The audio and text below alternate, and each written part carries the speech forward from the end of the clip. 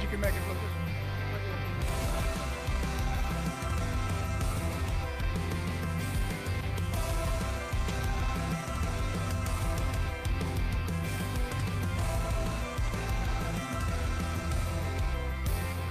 Well, good morning, everyone. We are so glad you're here today with us. I was looking up at the in the uh, balcony there, and Mike Taylor's with us. Uh, I'm saying that because he's been sick for a while, and, and uh, uh, I look at him up there. I, I, you, you, must not feel any better, Mike. You still look pretty sick. So uh, that's from my heart, man. I, am I'm concerned with you. He is from Nebraska, so that's probably about the best they can do. So, uh, so all right. I want you to stand up today, and we can't greet each other, but what I want you, I want you to stand up and you, you, how many has ever been uncomfortable in a, in a public setting? I'm uncomfortable every Sunday. So what I want you to do, instead of shake somebody's hand, stand up. That, that's English. Stand up. And then I want you to point to somebody and smile at them. And that way, the rest of the service, they're sitting there going, what's wrong? All right, so just point to somebody and smile at them. Just, just smile, you know. you know, just, you know what I mean. All right, just, just point and smile at them. So, you, you, you know. All right. All right. Well, I am so glad you're here today. And isn't it good to know that even though we can't control the weather, we can't control a lot of things, our God is always in control. And what I'd like for you to do is, is just take a minute, clear your minds, clear your heart, and realize that He is the audience this morning.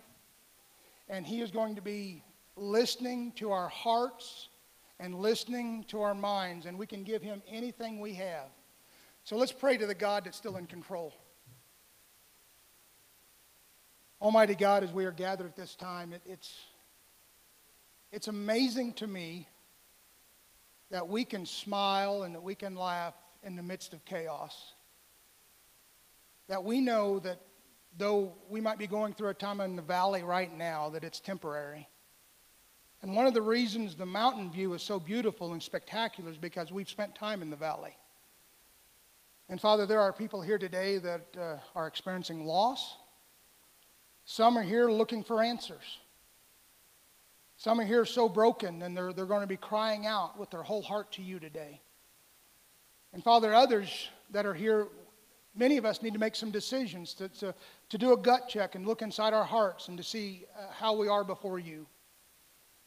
And Father, may we realize that we come before an almighty God who is a holy God, a just God, but a God of love.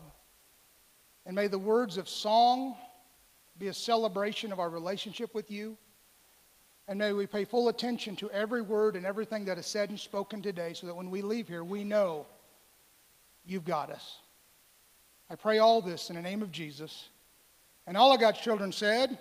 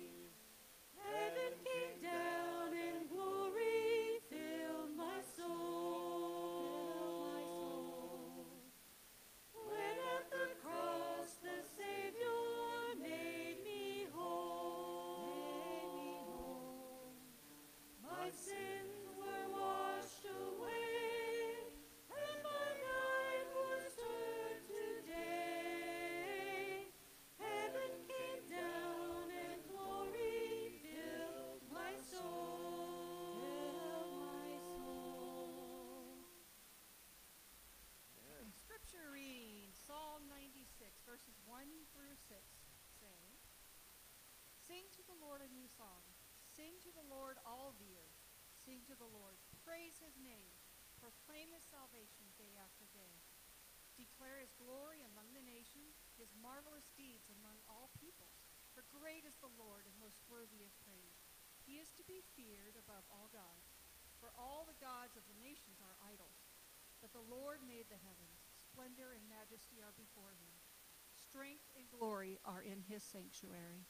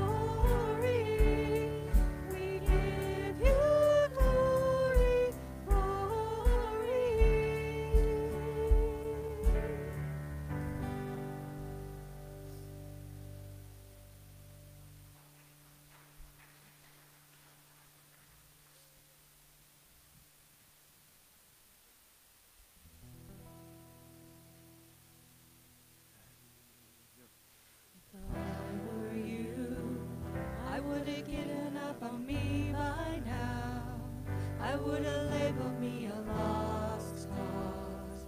Cause I feel just like a lost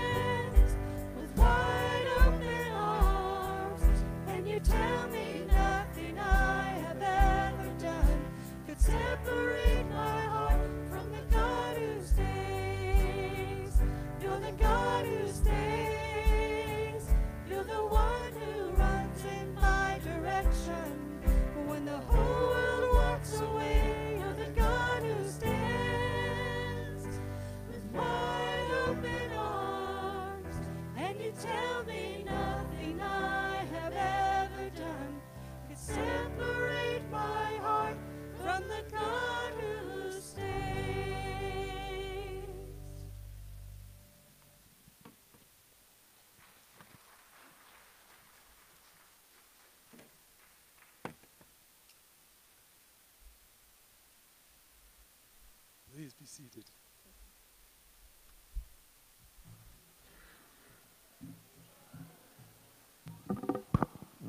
All right, everybody, we are dismissing for Kids Quest and extended session. Kids Quest and extended session. I do have a couple announcements.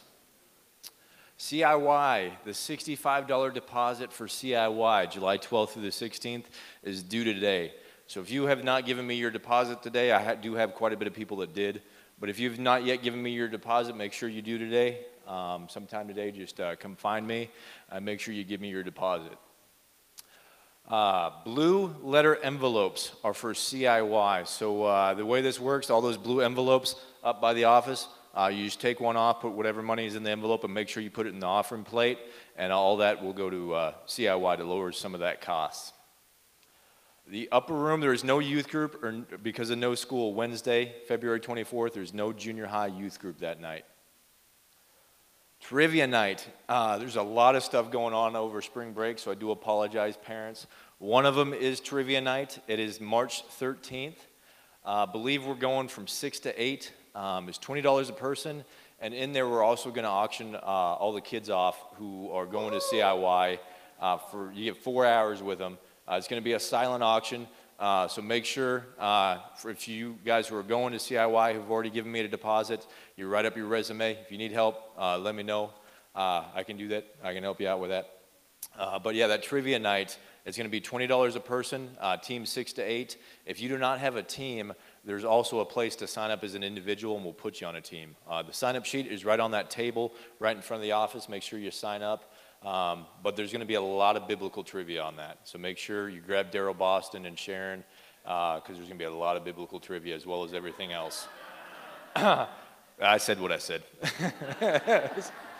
Lock in that next Sunday, March 14th, uh, the day after trivia night. We are going to have high school youth group here, and we're going to stay in for a lock in until Monday morning.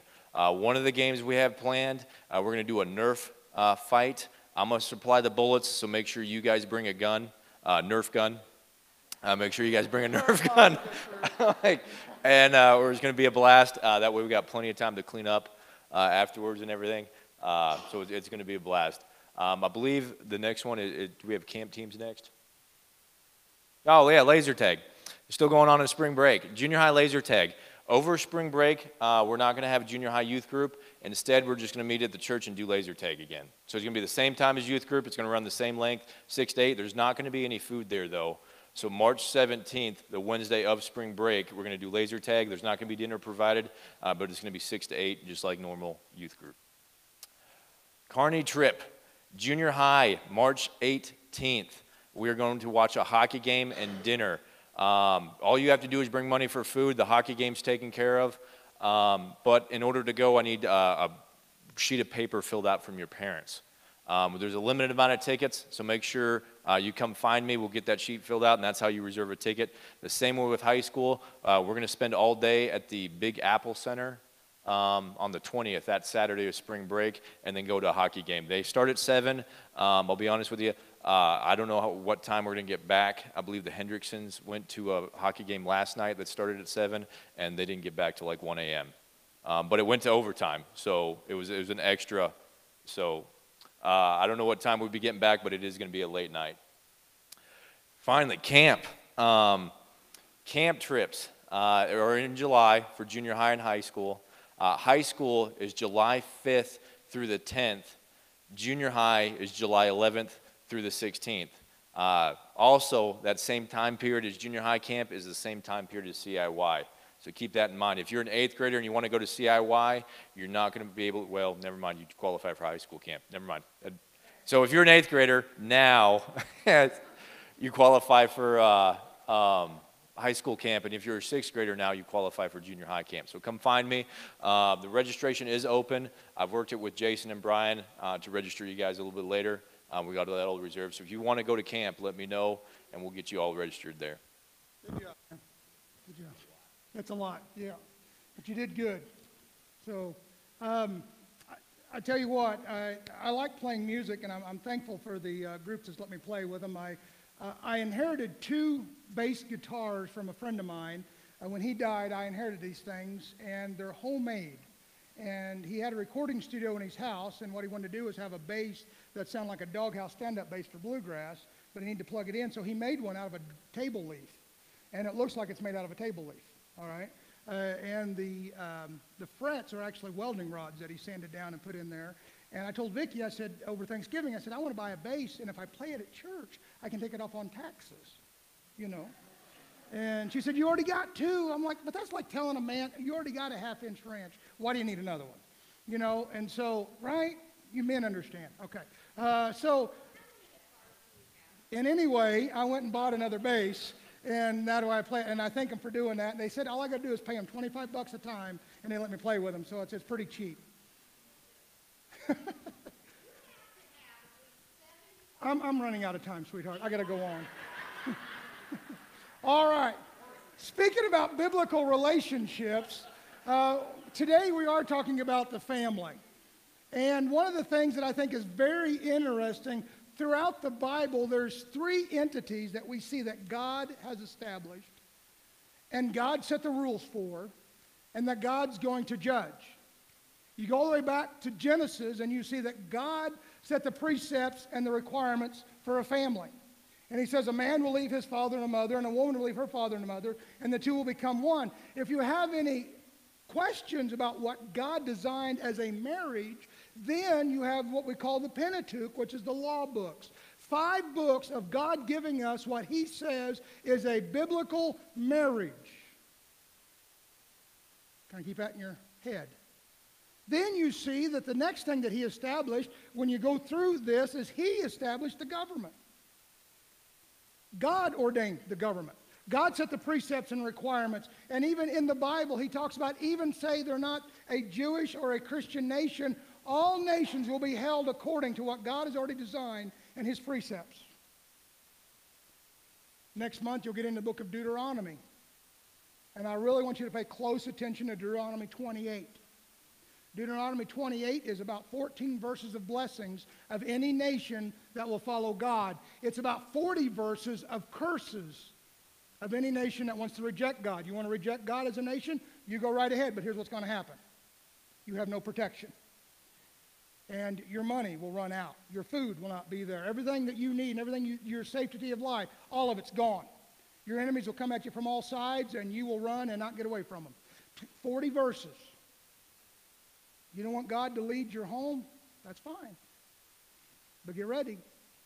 You don't want God to lead your government, and you want to be able to dictate what right and wrong is, and you want to be able to dictate what a marriage is, and, and you don't want to use God's precepts for marriage? All right, go ahead. But get ready to face the consequences of that. And you see, the third thing that God established was his people. In the Old Testament, it was the Israelite people. In the New Testament, it's the church. God established the church. And our job is to go back to see how God wants us to run it. And when you're looking in the, in the Bible, this is God's word on everything. God's word on the family, God's word on the government, and God's word on the church. We don't get to decide and we don't get to put any input in it. It's God's design. This past week, you were reading through the book of Leviticus. In the book of Leviticus, what you find is one stanza said over and over again I am the Lord your God, so therefore consecrate yourself before me, because I am holy. You better be holy before me.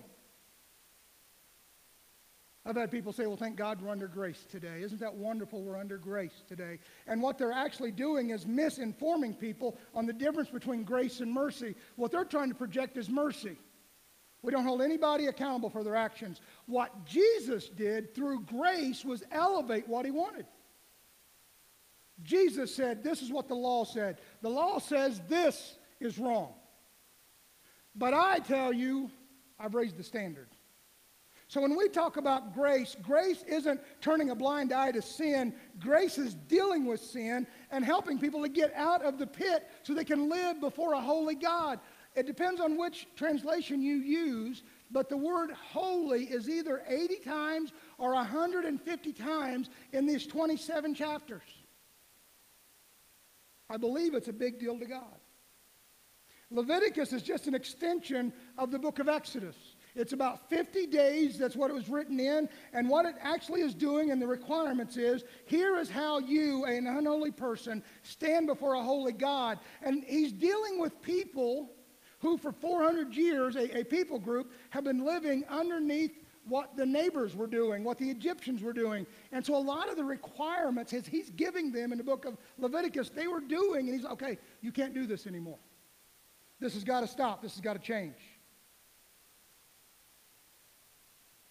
He was giving them the components of holiness. Holiness has two components.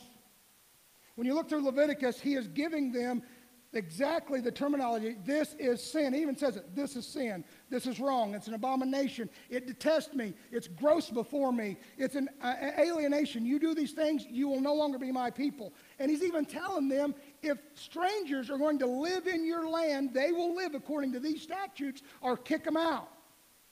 They don't come in with their gods. They're not going to come in with their ways and their rituals. They will come in and do what I have set before them or get rid of them. He has a high standard, but Jesus elevated that standard.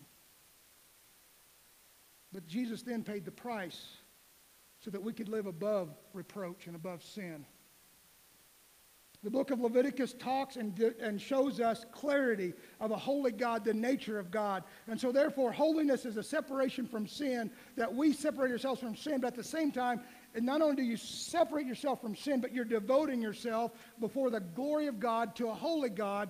You're getting rid of one thing, but then you're adding something else. There's five different offerings in the book of Leviticus. Three of them are volunteer. The first three offerings are a volunteer offering that you give to God. A burnt offering is a volunteer offering signifying a complete devotion before God.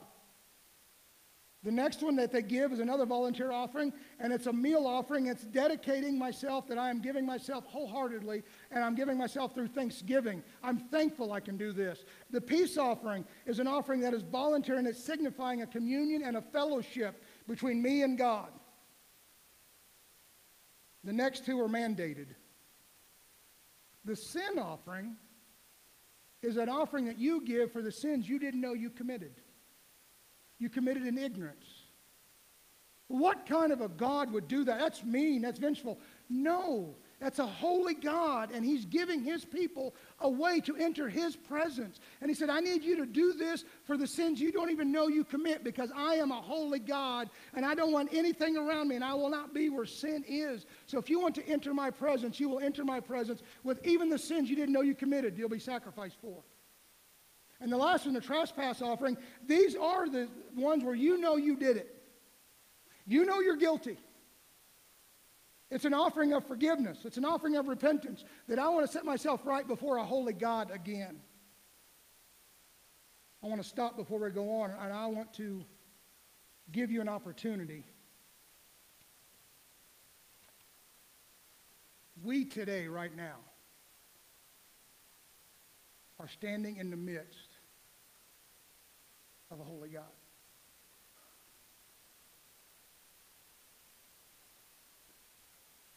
we are in the midst of a God that is so holy, but a God that's full of love, that he desired a relationship with you. You couldn't get there to him, so he came to you.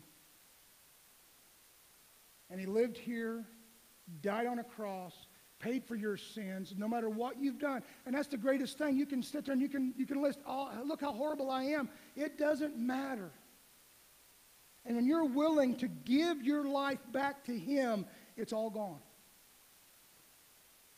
We serve a holy God. He's not going to lower His standard, but He's going to give you the ability to raise yours.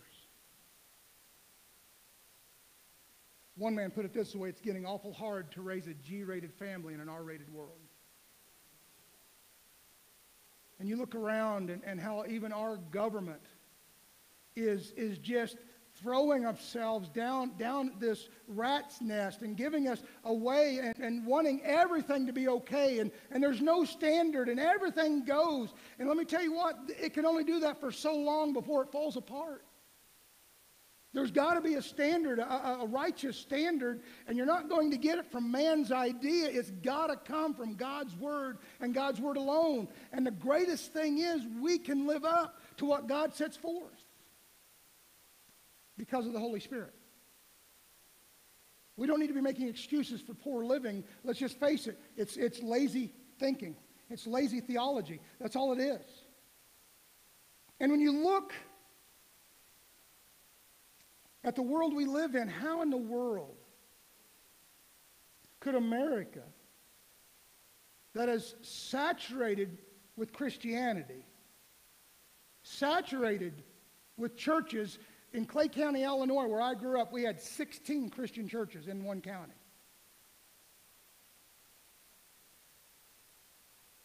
How could a country so saturated with the Word of God be so disgusting about sin today? There's a reckoning coming on the church because we relinquished our responsibilities and our obligations. We were to set the premise, we were to set the standard. And instead of asking the world to rise up their standard, we lowered ours. I don't want a reckoning. I want a revival.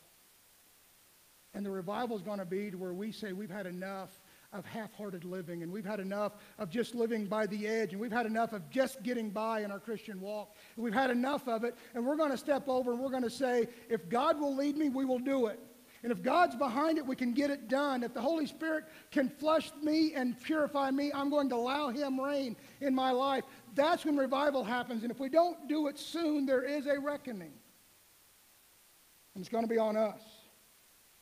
The rest of the book of Leviticus is divided like this you have the first part of, of the focus on the law concerning the various offerings, and that's the next part. And he's talking about this about the means, how we go before God, and the attitude that we need to have before God. There, there's an attitude he's looking for. And then you look at Leviticus 8 through 10, he's telling us that you've got to come before him pure. The conditions in verses uh, Le- uh, Leviticus 11 through 22 is talking about dealing with the heart that you have and dealing with your sin. You go on with Leviticus 23 and 24. These are the blessings, these are the why. Why should I be worried? Why should I enter the presence of God? Because you want to be blessed. Leviticus 24 through 27 talk about the symbols of consecration. And there's two important symbols that are found in this part. And they're found that they're supposed to be constantly being, being worked on. The first one is the lampstand. It's the oil is always to be burning. It was to remind them as the Israelite people that you are the light of the world. And your job is to draw attention to the God you serve. That is your job, to light the world around you.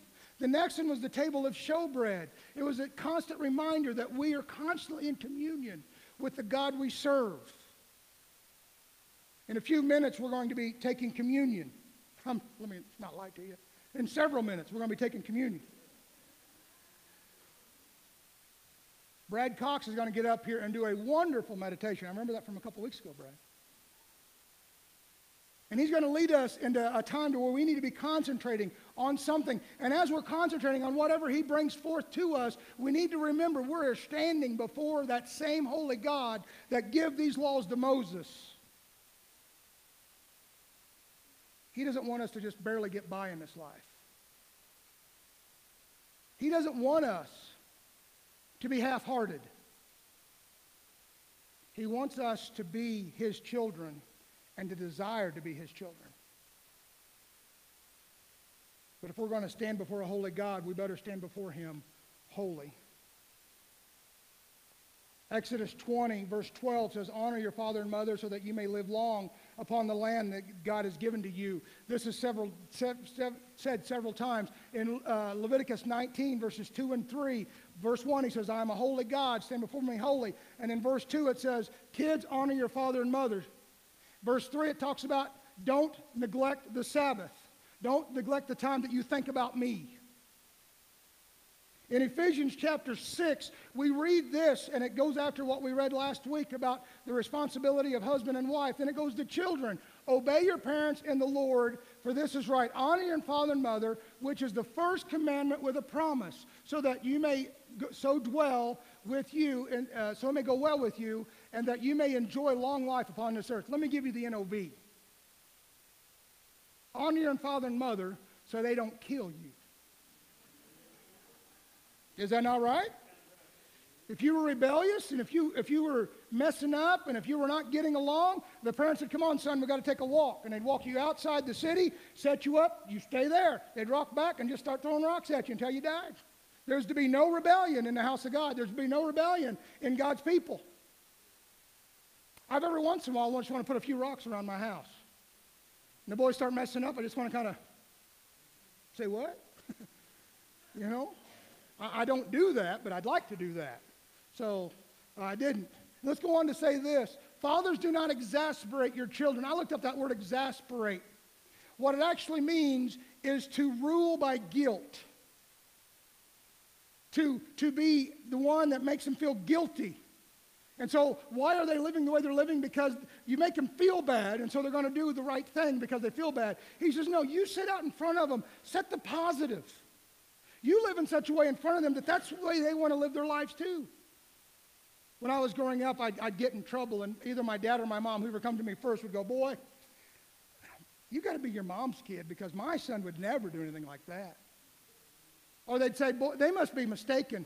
Because that couldn't have been you because my boy would never do anything like that. I'm, yeah, I think they're mistaken. I think you're right, Dad. They didn't make me feel guilty. They give me an opportunity to own up to it. My dad, you know, was gone in 2001, and one of the things that still cuts my heart, even though he forgave me, was when I heard the words from my dad, Son, you're disappointing me. And that wasn't from guilt. He didn't want me to feel guilty. That was from his heart.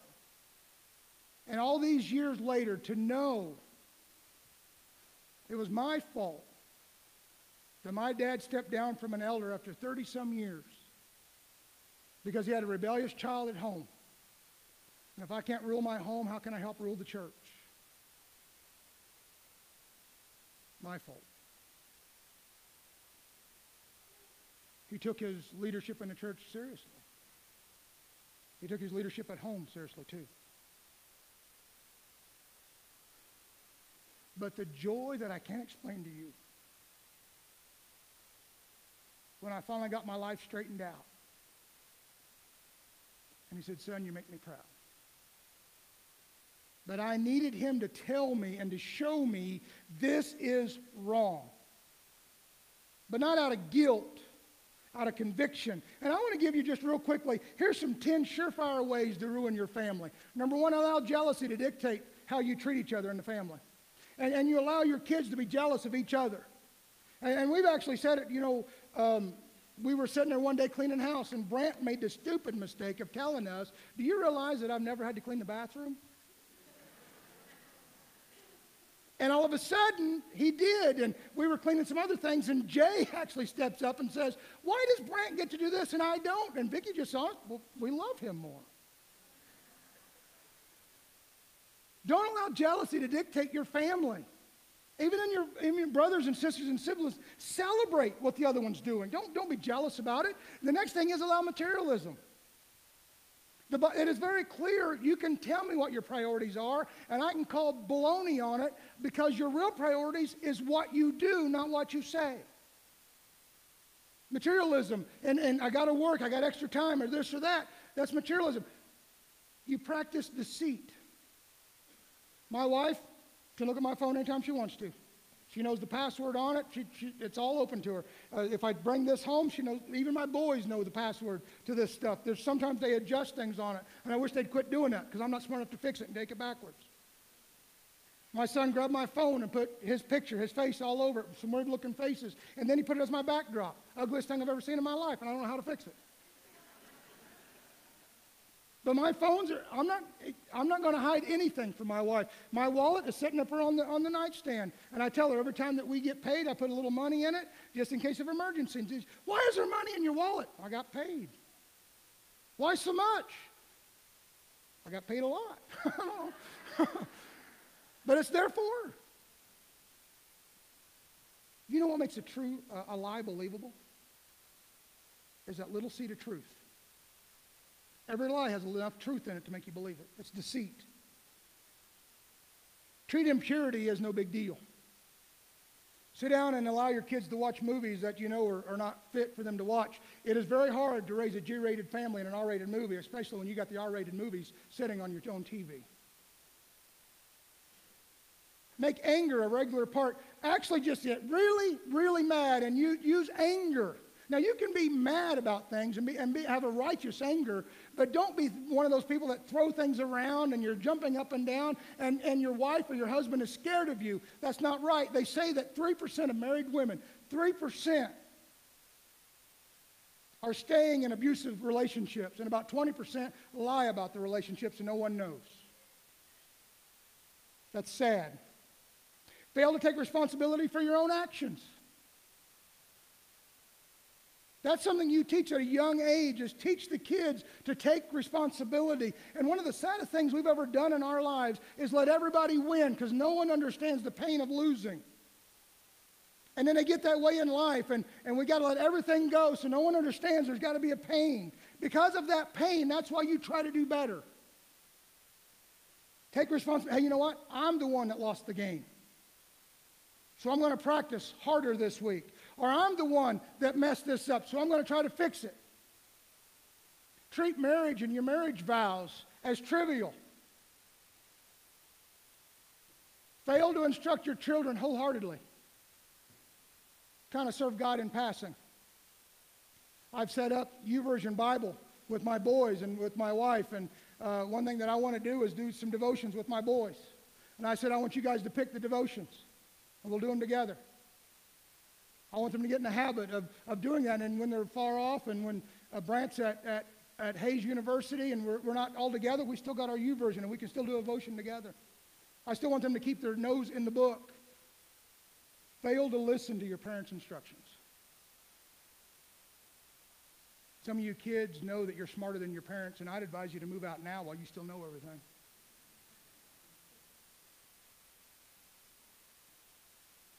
Some of you that think your mom and dad are stupid and don't know how the world works. I wish I could sit down one more time and write down everything my dad tried to teach me. Because he was preparing me for my adulthood and for what was coming my way. And I didn't think he knew what he was talking about. So, what is the outcome of making family a priority in your life? Let me give you some things. Chuck Swindoll said this whatever else may be said about the home, it is the bottom line of life, the anvil upon which attitudes and convictions are hammered out. It is the place where life's bills come due. The single most influential force in all the earth is the home. And I feel sorry for, for kids who are being raised misguided and, and raised in homes where you, you nonchalantly talk about God, or He's not really a priority. And, and I feel sorry for them because they're going to get in a world and they're not going to be ready to face that world because they don't have their feet concreted in the Word of God. Let me give you what George Barna says in a book called The Revolutionary Parenting. Most of our children are biblically illiterate. Their ignorance of the Bible teaches them to correspond to other facts, and only two thirds of those that go to church, kids, have even a, a, a grasp of biblical knowledge. Fewer of our children are motivated to share their faith with someone else. They went and researched, and only 19% of high schoolers who went to church every Sunday, only 19% shared their faith. Maybe it's because they didn't see mom and dad share their faith. The other reason is they don't know what they believe. 46% state that their religious faith is important to them. Of those that go to church, only 46% of those going to church say, Yeah, faith has an important part of my life. Fewer of our children actually take Satan seriously. Only 28% thinks he's somebody that we got to be worried about, that he's, that he's real. Salvation baffles most of our kids that are even in church. They don't know whether they're saved or not. They don't know what they believe about salvation, so therefore they don't know how to tell somebody else. One third of Americans' adolescents contend that Jesus Christ might have come back in a physical life. By their own admission, children are confused about theology, and they come up with the conclusion well, my conclusion is as long as you believe something, you'll be okay. But did we not just say that we serve a holy God, and if we're going to enter his presence, we too need to be holy? We can't slack off on what marriage is. We can't slack off on what it is the requirements to be holy. And what we have to do is not swim around in grace and call grace what it is not. When the woman was caught in adultery and brought to her, he didn't say, Yeah, accept you right where you're at, stay there. I accept you where you are. Now go and sin no more. The woman he met at the well, when he met her at the well and he talked to her, and he said, Yeah, go get your husband. Well, I don't have a husband. You're right. You had five. And she runs back into town and says, Come out here and listen to this man because he knows everything about me. And he expects me to change. And he gives me the tools to change. So, what are some things that happen whenever we put our families as priorities? Number one, we get principles, rules to live by, and rules that you will say, if you're going to be in my house, this is the way you're going to conduct yourself. If you're going to be my kids, this is what I expect. Some expectations. We expect our kids to get A's on their homework. Unless it's Spanish, we just expect them to show up to that one. we expect them to get A's. And my wife looks almost every day at the report card. Here during COVID, a couple of them, I ain't to say which two, but a couple of them were doing their homework. Both of them, there you go. Had to help Evan out a little bit, give him some time. She pulled them to the side. And, and, as, and as she's telling them in her wonderful way they need to get their work done, I pulled out some homework. I said, Give me some. I feel guilty too. We expect certain things. We expect them to obey the laws. We expect them to be good uh, citizens. We expect them not to drink. We expect them not to do drugs. We expect certain things out of them. Principles to live by. Our society needs families with standards. We can see what's happening now in our society because we're trying to live with no standards. Their spiritual welfare needs standards. We will be at church on Sunday. Even when we go on vacation, we will find a church to go to. We will be at church. Their spiritual needs are met because we have principles as a family. Protection is found. As a kid, I always thought dad was just mean and give me all these rules just because he was a dad and then make up stuff and make up rules. As I become a dad, I realize that's protecting me. Do you realize that the laws that were given to the Israelite people, many of those laws, was to protect them? Uh, either physically or emotionally or spiritually. Do not allow these people in your, in your area. Why? Because they will bring you down to their level of religion. Don't do that. Don't eat, if you come up on a dead animal, it's been dead for a while, it's got some oozing coming out of it, don't eat it. Why does he have to tell them that? Because, hey, it's a free meal. And they've got to be taught all these things to protect them. When you set your family as a priority, you're protecting them. I want you home at 11 o'clock. Why? Because the idiots and, and you know, some of the people that are out there, some of the people that, that shouldn't be out there, and, and you have a higher risk of getting hit by somebody who's on drugs or alcohol after that time, so you need to be home. Number two is because I want to go to bed and I'm going to stay awake until you get home. And if I have to stay up past 11 o'clock, I, I might just have to get your curfew to be 10 o'clock. These are reasons we're doing this is to protect the family. I was a little worried today as I was brushing my teeth and I was getting ready for church. And something my dad said haunted me, and, and all of you have heard this from your parents. I hope that when you have a family, that you have one. Anybody want to finish that? And I'm like, oh, I'm in so much trouble. And I started repenting right there on the spot. It's for protection. Another reason is because of pride. You should have pride in your last name. Throughout years where I grew up, there was, there was something about a good last name. And, and I had a lot of, you know, I was embarrassed about my family for a long time. And the reason was we were really poor. And, and wearing hand me down clothing was just, man, it was just embarrassing, especially when you know you got five older sisters. Real embarrassing. And I didn't realize how proud I needed to be until my dad's funeral. Sixth grade education, just a common guy, and all these people coming to his funeral. When his own doctor showed up, and the doctor, I don't know what religion he was, but he, he was from a, a, an Eastern religion. And every time my dad went in there, would talk to him about Jesus. And all these people coming in, and several of them were preachers, and they said, You don't know this, but your dad drove a bus to pick me up.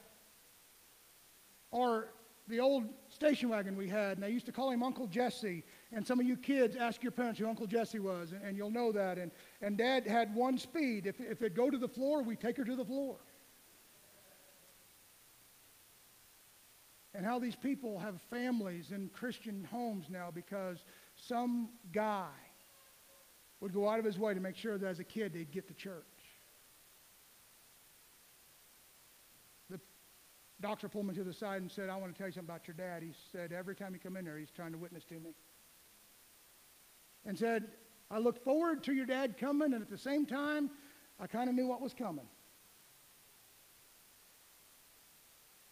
He was at our house, and we noticed some things were messing up with his eyesight, and he went to the doctor, and the doctor looked at him and said, um, Your cancer's back. And it says almost like your dad had a smile on his face and a little bit of relief.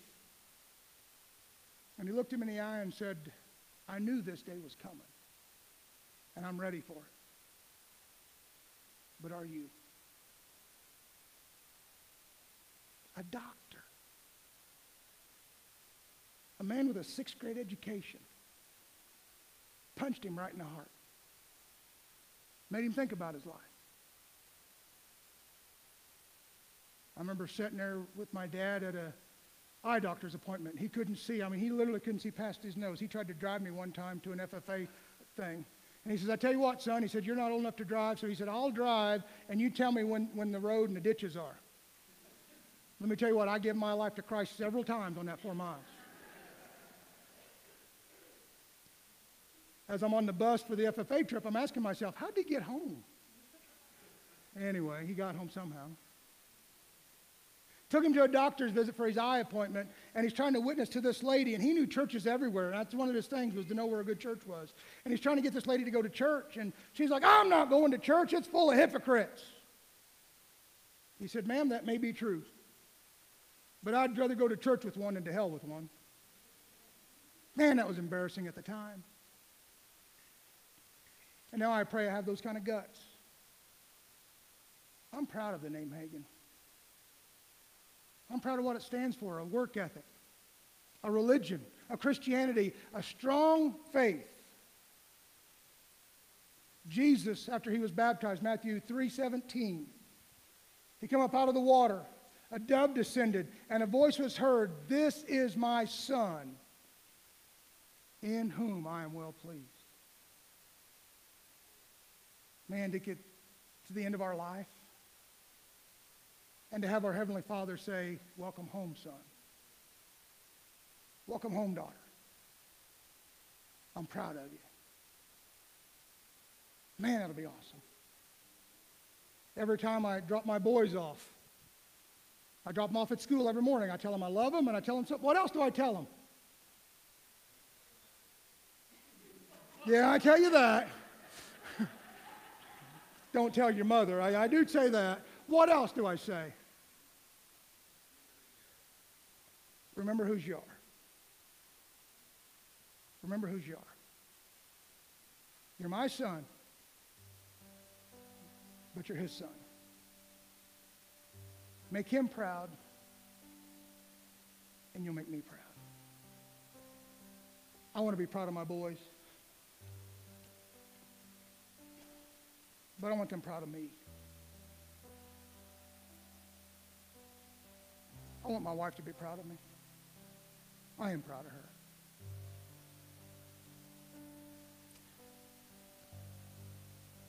I want my God to be proud of me. You know, I tried to finish this sermon Thursday, and it's been one of those weeks to where nothing was going right, and I was, I was getting behind on everything. And th- Thursday, I headed out to see Barb, and her daughter's taking care of her. Pray for her. Kareen's the nurse, so it's, it's, it's kind of horrible for Barb. I told Barb, I said, hey, you're into my category now because she's had neck surgery up and down here. She's like, what do you mean? I'm like, well, now you're a redneck. On the way out there, I remembered that I told Vicki, hey, I'll have supper waiting on you because she's going to have a late night at work. I'll cook supper and I'll have it out and waiting. And I'm, I'm driving out there, I realize I didn't get anything out for supper. And I'm trying to figure out how do I get home before her that she doesn't know that I failed. Well, I just manned up and got my group together and had men pray for me. I did a stupid. then I text her, hey, I forgot to get supper out. And she's like, you doofus. Out of love, she says that, you know. I said, what do you want me to do? She said, oh, just go by Jamboree and pick something up. That'll be fine. We'll just, you know, we got, we got the side. Just pick up some meat from Jamboree. And so I went over there and I'm walking around. The first thing I'm doing is complaining about the price of everything in my head and going, man, I'm about to get a loan. Man, this is expensive.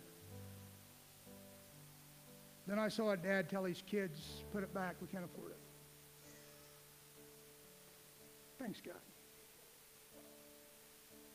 And, and I think Vicki has a camera on me, and she waited until I got to the back end of the, of the building, and she said, hey, can you pick me up some grapes? Not the green ones, the ones on sale. Sure, dear, I'll walk completely back across this huge entire acres and acres of a store, and I get over to where the produce is, and there's an older lady sitting there, and, and I got confused because the green grapes were on sale, but she said, don't get the green grapes, get the ones that are on sale. So I'm, I'm picking up the purple grapes. I should have picked up both of them. That way I was covered, but I didn't. And I look at the lady and I, am like, you know, I said, I think my wife has a camera on me. And she waits till I get to the other side of the store. And I said, I know she's in the car laughing at me. And we kind of talked a little bit. And she said, you know, I lost my husband eight years ago to a surprise heart attack. She said, I'd crawl across Kansas to give him some grapes if I could. Thanks, God. Man, that family's going to be out of your house pretty soon. Pretty soon, your mom, you're going to look her in the eye and she's going to be old. That man that you were afraid of all your life is going to be frail. The one that took care of you, now you're probably going to have to take care of them. Those kids that take up so much time I'm going to leave your home and you're going to have nothing but time on your hands. Make sure you got them ready. That you give them some principles. Make sure that in this horrible world we live in, that you give them something that they're going to be protected. And make sure they live in such a way that they make you proud and you make them proud. And when life is all said and done, and you lay this old body down all wore out, that you made sure they're going to hear the words, well done. Well done. Let's work on revival, folks. we might upset some people. We may make some people mad because we have a standard. But we're still standing before that same holy God. Let's stand before him clean. Let's stand and sing, shall we?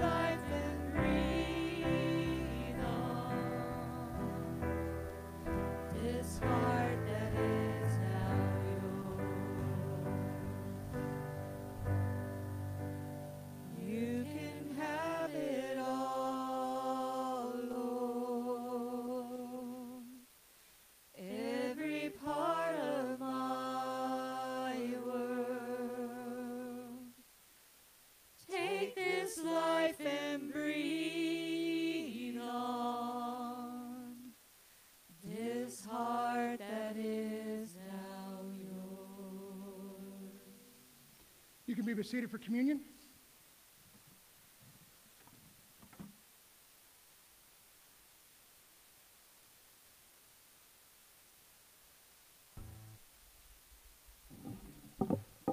Good morning. I hope you're all enjoying this heat wave that we have going on today. A lot better than last week. You know, our Sunday school class last week uh, talked about, we were dealing with, talking about how to deal with conflict. And in part of conflict means at the end there's probably going to be some forgiveness that's going to need to be granted one way or the other. You know, part of the Christian faith, you know, forgiveness is an important part of that. Christ has paid all, paid the price for all of our many sins. He forgives and forgets each one that we confess, and He expects us to do the same with those around us. Forgiving and forgetting their sins against us. We especially need to extend forgiveness to our family members. Often we are less willing to forgive a parent, a spouse, a sibling, or a child than we are to forgive a friend that enters the home. For example, how would you react if a friend comes into your house and spills a cup of coffee on your couch? Would you uh, extend the same type of grace to a child or a spouse if they were to spill that coffee on the couch? Maybe that's happened.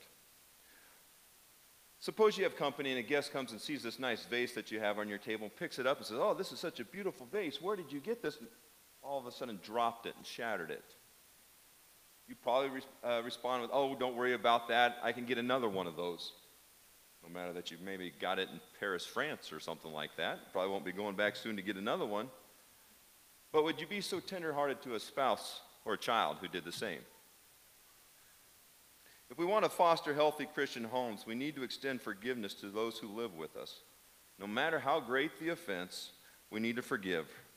Remem- remembering that our offenses against our forgiving God are much greater. So keep short accounts with God and with your family. Next to our immediate family, we have our church family, or our brothers and sisters in Christ. Sometimes they can be hard to forgive too. Well, they should know better. They were born and raised in a church. Or they should know better. They're Christians. Sometimes those can be hard to forgive also. And I bet if I was to say, has somebody in the church wronged you? Probably somebody can come to mind. Maybe we should think, have I wronged somebody else? Maybe we have. Maybe we don't know about it. In the New Testament, they ask, how often should we forgive them? Seven times? The answer is 70 times seven. So, in other words, saying, you're probably going to have to forgive me again. You know what? We're probably going to have to forgive you again, too. Not only must we forgive others, but we must also forget their offenses against us, a much neglected aspect of forgiveness. How many times do you person, people say, Oh, I forgive him or her? Well, I'll never forget. But true forgiving is forgetting. God says that He will forgive our sins and will remember them against us no more. Now, our God doesn't forget things, our, our God chooses to put those things behind and not to bring them up again. His actions, He models for us on how we should respond with other people hurt us. Forgiveness means that you don't say, You always do that or there you go again. Forgiveness means that we don't rehash old trespasses against one another like a cow that continues to chew its cud. If we do, we truly haven't forgiven. We choose not to forgive those who sin against us, neither will our Heavenly Father forgive us. Do you need to forgive someone today? Forgetting that person's trespasses against you? As Matthew 6:12 says, "And forgive us our debts as we forgive our debtors."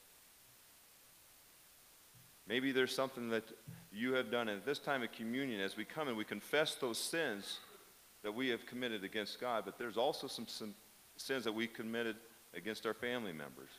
Maybe immediate, and maybe they're our brothers and sisters in Christ. At this time, as we come to ask God for our forgiveness, maybe we also need to take some time and forgive others and ask for forgiveness of those that we've sinned against too. Will you pray with me? Heavenly Father, we thank you for this time that we can come here. And Lord, that we can ask for forgiveness of our sins. And Lord, it's good that we come every week because every week we fall short. And every week we do continue to sin. Sometimes, Lord, there's sins that we know. And sometimes there's some that we don't mean to. And that we have hurt you or we've hurt somebody else out of ignorance. Lord, I pray that we can bring these sins and lay them at your feet. Lord, we are thankful that you remember our sins no more, not because you can't, because you choose not to. Lord, we thank you for that example. And Lord, we pray that we can do the same to our brothers and sisters also. Lord, as we come here again, as we remember these emblems that are taken, you chose to send your son to die on the cross for us because of our sins. We thank you for that. And Lord, we thank you that he has risen again. And we thank you that we can spend eternity with you in heaven because his sacrifice was a one-time sacrifice to cover all of our sins. Thank you for your generous love that you pour out for us. In Jesus' name we pray. Amen.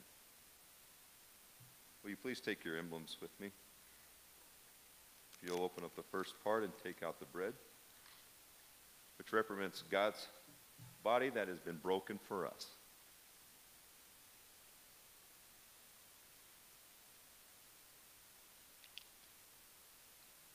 As we take the cup and the juice, which represents God's blood that was freely poured out for our sins.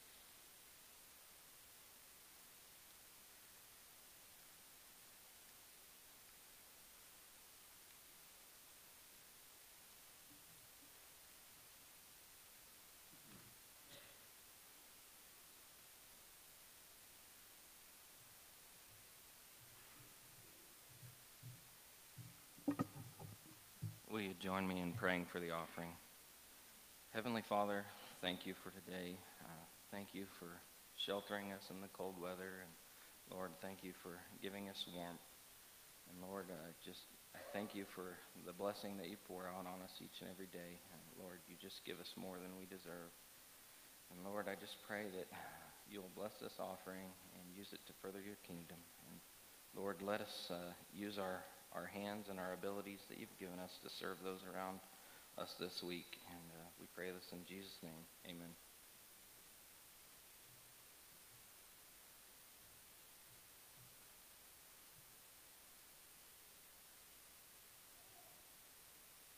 My wife says I have 80 something or other, whatever it is. But next week when we're taking communion, I want you to think about bacon frying. That's what I thought when everybody's opened up those seals. that sounds like bacon frying. So, yeah, I didn't either until then. It must be a God thing. I don't know. Um, no Awanas this week because no school on uh, Wednesday. Uh, meetings this Wednesday night. We have an elders prayer meeting at 6:45, uh, and uh, make sure you're there for that. That's awful good, guys. I appreciate that. Uh, next month is March Madness. Missions possible. And each week we'll be actually getting a lot of the missions. We support over 20 missions. And I'm just so awesome about that. And so we're going to learn about some of the missions we support.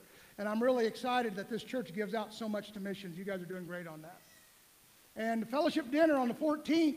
And talk to Melba Rhodes, or, or Melba Rhodes, talk to Melba Witt and see about uh, what uh, meals to bring because we want you to bring food from all over the place. And we're going to try different stuff.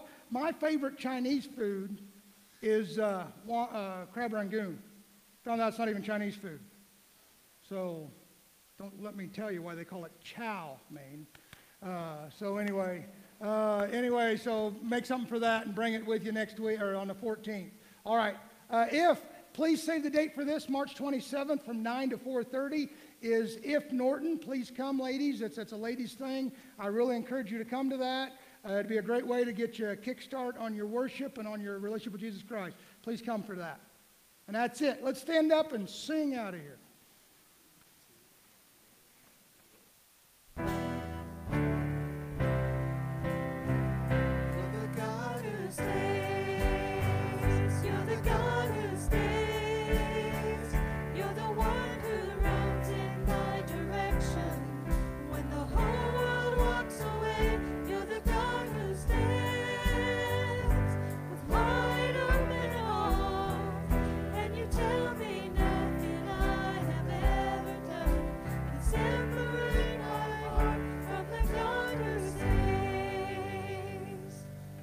Great week.